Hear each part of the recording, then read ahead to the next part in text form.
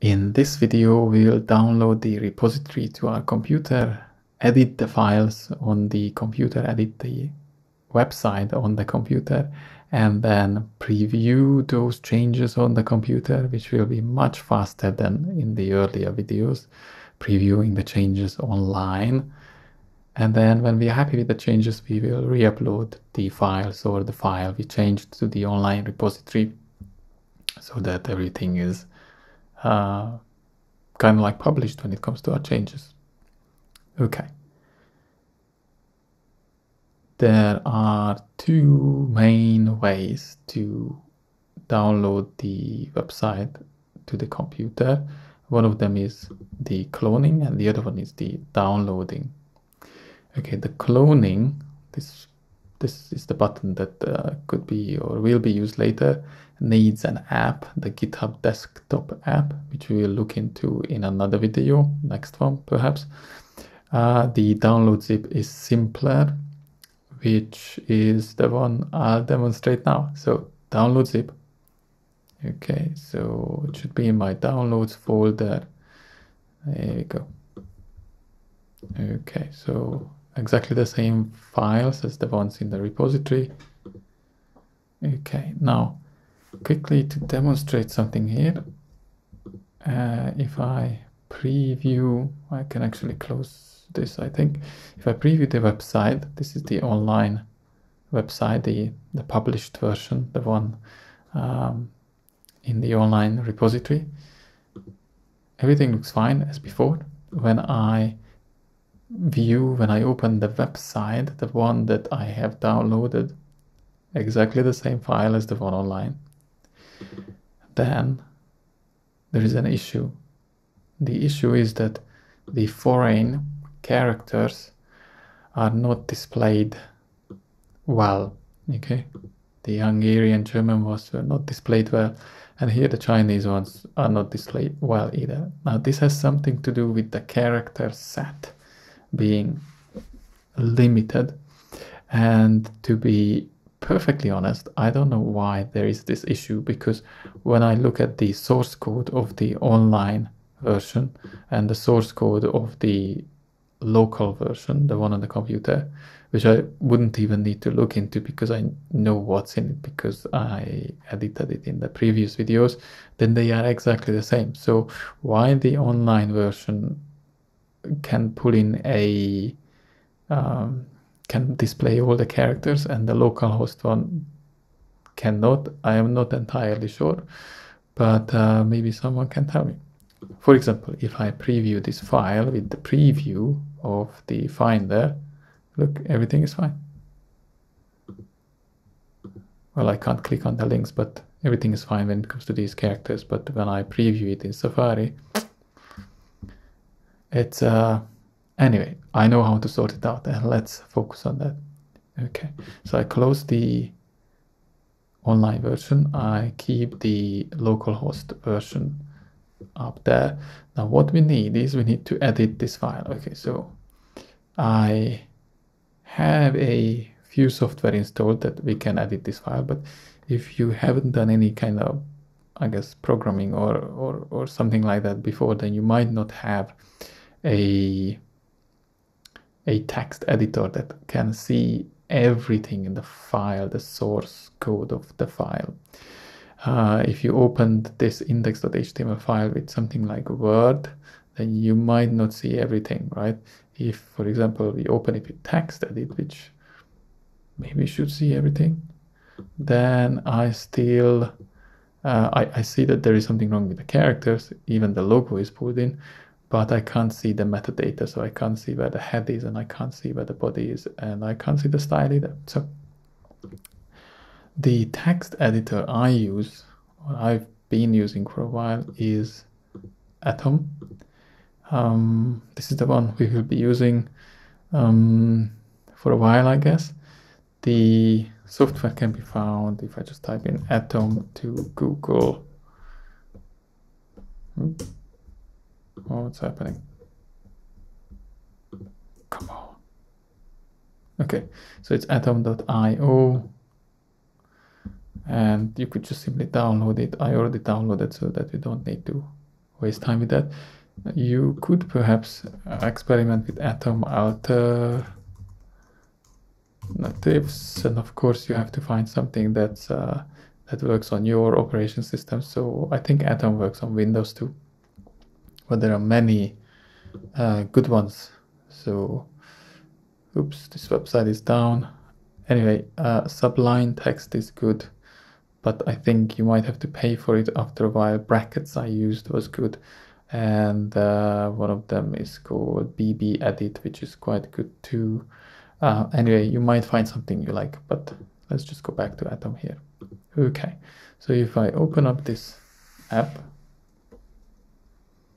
okay, now I can, this is probably not what you will see. I, uh, if you open it up the first time, the repository will not be in your project's sidebar, but it might ask you whether you want to uh, install the git command line developer tools, which we will do later, but not now. So we could just simply cancel it and then I just quit all these windows.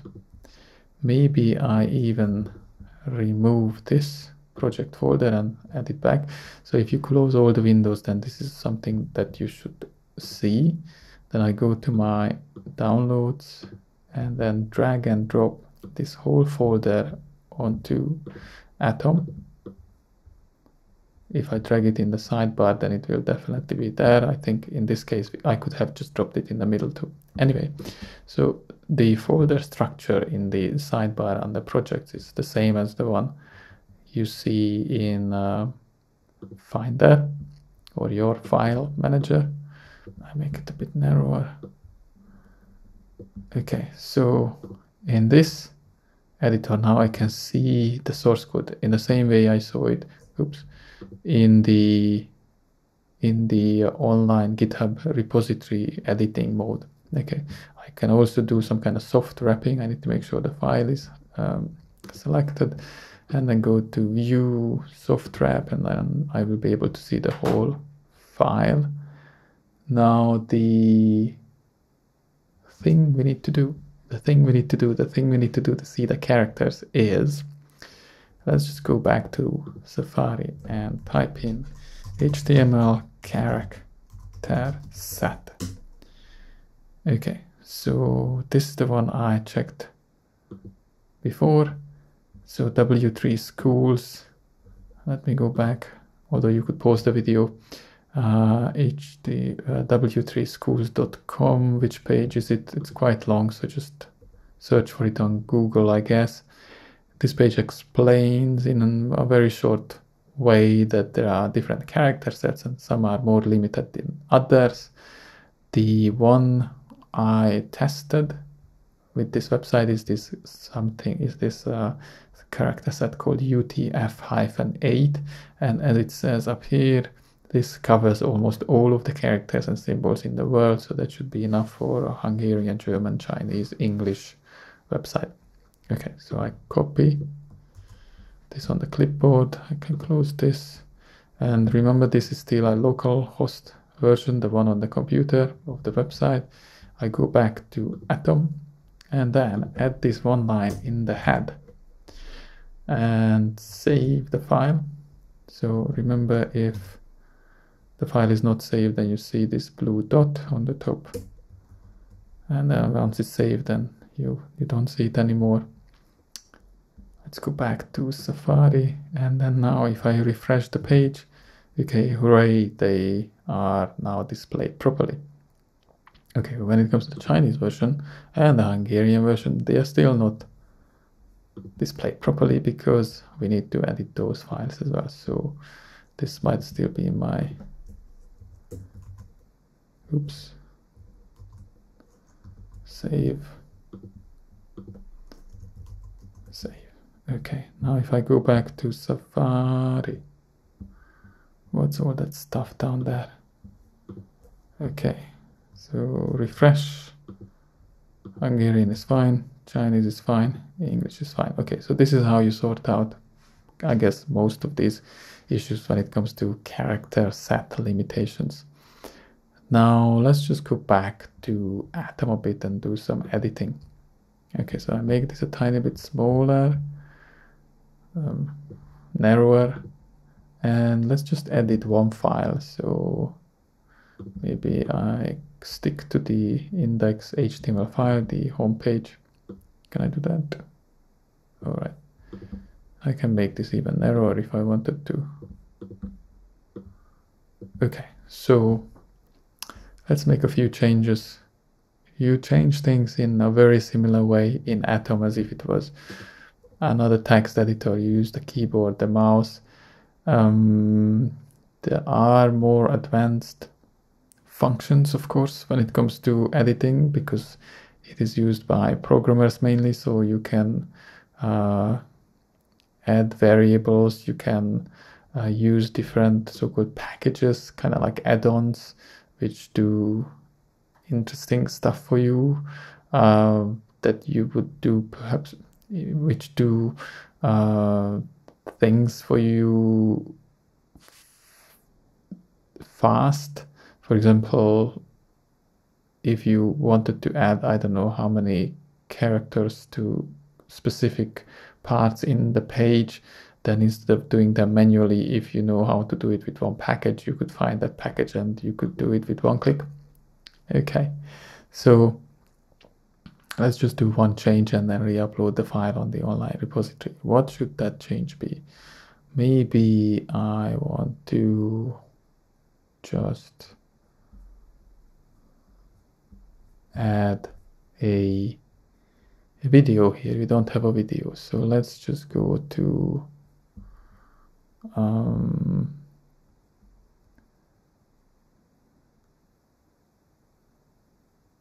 Well, that wouldn't be a translation example. So why don't we just say we copy all of this.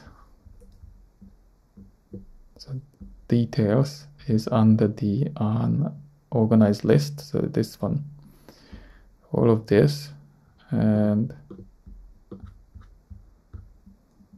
we highlight it, copy it on the clipboard, and paste it again. So it should appear twice now. Let's refresh. Okay, see, we can see the change. We can see the change we made in the source code instantly when it comes to previewing the changes, not like before when we were previewing the changes on the live published version, which could take sometimes half a minute. Anyway, so maybe I just want to change this to interpreting example. And then I just saved it again. Okay, this has changed as well. So we might not need the table so I delete all the table and maybe this one too as well, more examples. PDF. So, oops, I might have deleted more than I wanted. Okay. You can undo, of course. So I delete the table. I can make a space here. Sorry, I need to delete. I wanted to delete this one too. Okay, so if I refresh the page, okay, you can see there is nothing in there. So what if I want to maybe embed a video where I'm talking. So YouTube and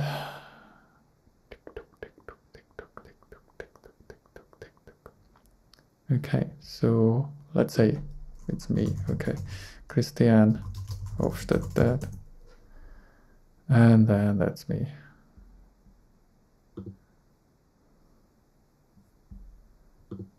Okay, maybe this you usually go to oops you usually go to share and then find the embed code. And then you could either highlight the whole um, code or just click on copy. And then you go back here and paste. These don't really add anything to the to the website. I will know know that there aren't going to be any line breaks if you want line breaks you have to use this br so maybe just add that at the end so that there is a space. I quit this and then refresh the page. And then here i am. Wonderful. So this is a very quick way of editing the source code and then previewing those changes on the uh, on the computer in the same browser. Now let's say we are happy with this change. We can close this we can close that we I just reopen browser again we go back to the github repository was this one. And how many files did we change? We changed all three, right? Because we added the character set to all three, as well as we did uh, a few changes when it comes to the uh, examples. We added this interpreting example in the index file. So it would be nice to upload all these files. Where is it? Downloads. Yep. Okay, so I can simply highlight these three files on the computer and then drag and drop on the repository. All right, so they are uploaded and then I commit to the change which will override these files.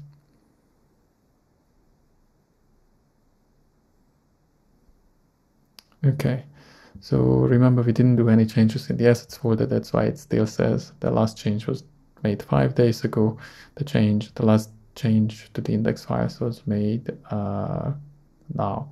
Now remember, if something goes wrong, maybe it wasn't the change you wanted and uh, you don't know what to do, you could always go into one of these files and look into its history where you have all the versions you saved before. So if I click on the this one, then I can see what changes I made here. If I click on the last one, I can see that the changes which were made was I added this character set and I also changed something in these details. So basically, I think I added one more of these details uh, element. Okay, but this is not what we really want here. Um, we just want to now preview the website, the online version. And okay, that was quite fast. We see the interpreting example on the English version. We won't see it on the Chinese version, right? It's the only one here. And we won't see it on the Hungarian version because we only made the change on the computer. Okay, uh, one more thing before I go, I guess, or this video is finished, that uh, we kept, right? So we have this, uh, in, in each of these files, we have this uh, element, this meta character set element, and it doesn't seem to upset anything when it comes to the online version, which was fine without this. By fine, I mean it displayed all the characters, the Hungarian, English, Chinese characters before as well, which again, I don't know why, but hey, tell me if you know. Um, so let's just leave it in because you might want to download these files later to the computer and edit and then re-upload.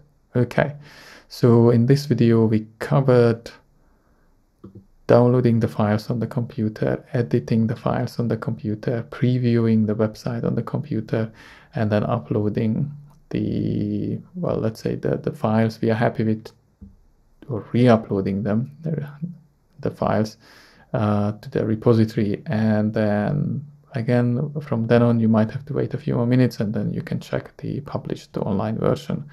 And we also talked about the character set, which seems to be important when it comes to our website. Alright then, I see you in the next video where we'll be cloning.